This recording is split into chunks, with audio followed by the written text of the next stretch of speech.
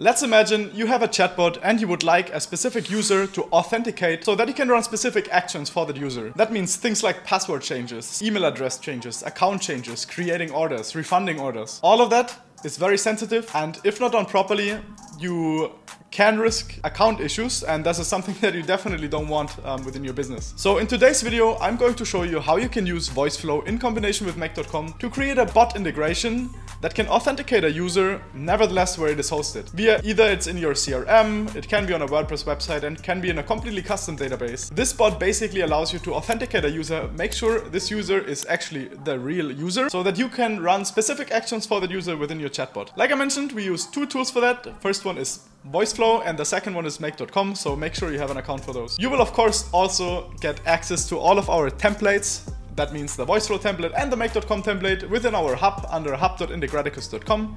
You'll find the link within the description down below.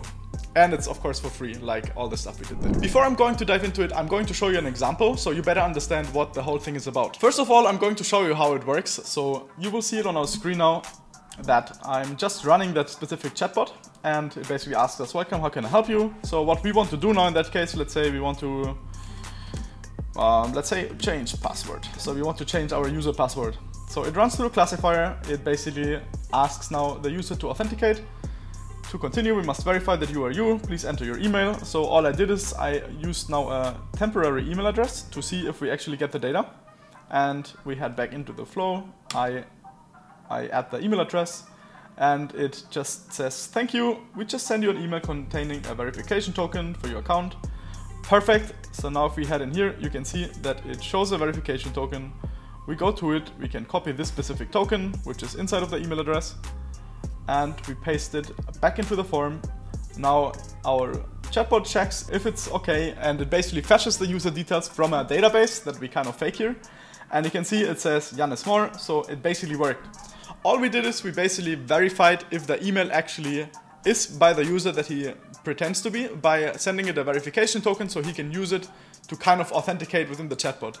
That gives you the leverage to actually run these specific user information queries on your database and do specific actions within it. If you don't want to dive into the details and you want to figure it out yourself, you can just download the templates as mentioned on the hub.integraticus.com. Otherwise, just follow me along back on the screen because we're going through it step by step. The whole thing basically consists of two things, which is our home tab that basically contains the classifier and a specific component, which is called user verification. So that is our starting point. Everything we do is we basically give back a text message saying, welcome, how can I help you? And then capturing the user's last utterance, so the basically the reply. We save that to a variable, we send it to our classifier that you also find within our hub. So you can simply paste in the prompt here and the system prompt um, from here. So we set it to manage account. That is basically all it can do for now, but you can customize it depending on your needs. So if you want to have a different actions, let's say you have a specific one for change password, like we did before, you can add that specific one here and define it something like that. That would basically does do the same thing. It sends it to your specific action that uh, is basically classified uh, yeah, within this specific condition. So now it's set to manage account. If you want to have the, the change password, you could basically add another condition with a variable and check against that. Then the first main part starts, which is um, check if the user is verified. So what we did is we basically created a variable that says user verified, and that basically contains uh, true or false or yes or no and yeah, it contains yes or no in this case. So if it is set to yes, then we know the user is already verified and we can just do the specific action. That is what's missing here as you can see. So this is something you can implement wherever you need it. So let's say you want to reset the password and you verify the user. You can then run uh, your API request to wherever you want to reset the password. If it is not verified, which is the case if the user just opened the chatbot, we are going to send them to the user verification component. And this is where the magic starts. So the first thing we do is we, of course, like you've seen it earlier, we ask it to enter your email address. That's what we do here. We assign it to a variable called user underscore email. And then we are generating a token. So this is the main part where we are literally just executing some JavaScript that basically generates a random token of the length of eight characters.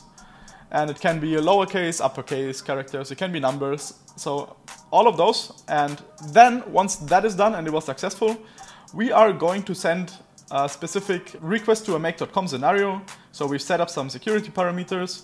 Those are basically defined within the scenario just to make sure no one else who knows the webhook can use it. And we are sending over as well the user email as well as the user token that we created within the JavaScript. So you can see here, unique user token is the variable that we defined earlier and which we assigned that specific dynamically gener generated value to. What this specific scenario does is what I can show you here. So it's very simple. It's literally just two steps. You have the webhook. That was the thing that you have seen within the URL of the bot. So this specific part here. Of course, right now it's a temporary one, so you need to adjust that to yours. And then you can basically send data to it. And we are doing here a request validation, which basically checks that specific security key we set, and we make sure it's the one that we actually set within the parameter as well.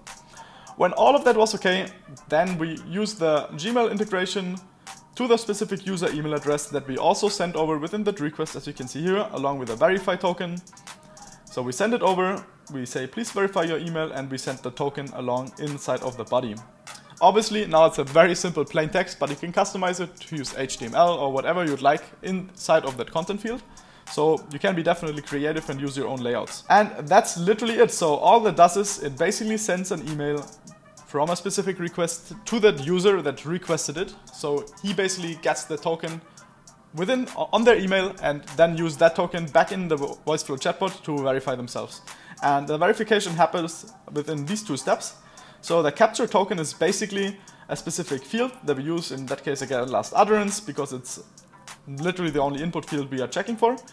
So he basically sets the token, then we are validating it, so we check if the last utterance, so the last thing the user typed in is equivalent to that specific token that we generated from the JavaScript step.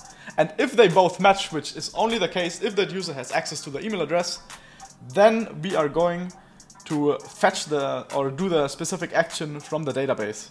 So in that case, we basically run a database connection uh, that is just faked. So I literally just set a specific username variable to output some specific username, but what you would do is you would use an API request, you fetch the stuff from your database, and you send it back over. Another step that I just noticed we haven't done here, but which is something you can definitely do, is you can actually set the user to verified, so that even for more requests afterward, he, is, he doesn't need to authenticate all the time again. To do that, I would say we just add a, a block here and we can set um, the user verification. So you will also have that once you download the template, obviously. And now we apply it to, it started again. Oh, it's running. Yeah, sorry, my mistake. Let's just head back over. User verification, apply to a specific variable. We apply to user verified and we set the value to yes, which basically means that when this specific action was okay, and we basically fetched the user already, we can also set it to, uh, to true. So that basically means it's authenticated and now it doesn't check all the time again when you send it back to the home, which is um, what we do here. So everything we do is we basically just take the username that we set from the database connection. I set it here to username via JavaScript. And then we are going back to uh, the intent general classifier, which is what you will find under start here. So basically it goes back to the main last utterance check. So whatever the user types in again will run again through the classifier and then does all the other actions. So that's basically it. So in the end, it's a very simple process. I know exactly it's a bit complex to explain, but the best is if you literally just download the template, you install it, and you try it for yourself so you can get a better feeling of it, what exactly it does. There's one thing that I would like to mention in regards to security. So in case anywhere within the bot that you are going to create, you have to adjust or reset the email address, make sure to always authenticate the user. Let's for example assume you don't authenticate the user again. A user can basically change the email address and counts as validated because you set it set the user validated variable to yes. So that is the only tricky part you need to be careful when creating this chatbot. And apart from that, it's a pretty straightforward process. And that's it. I hope for now this whole setup helped you a little bit to build some more specific chatbots just to help your users to create more specific scenarios for them. And if you have any specific questions regarding this bot or you don't understand anything from the make.com scenario or whatever, I'm always happy if you drop me a message down in the comments and I'll be happy of course to help. That's it for now. Until next time, take care.